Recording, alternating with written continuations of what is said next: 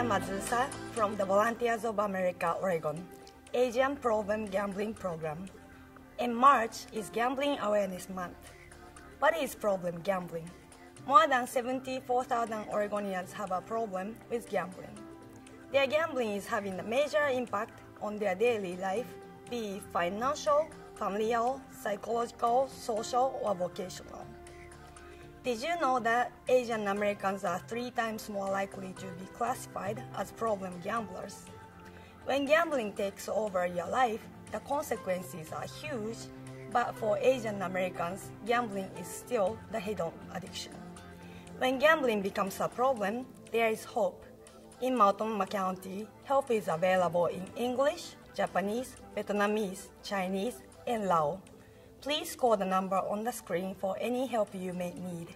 Help is free, confidential, and it works.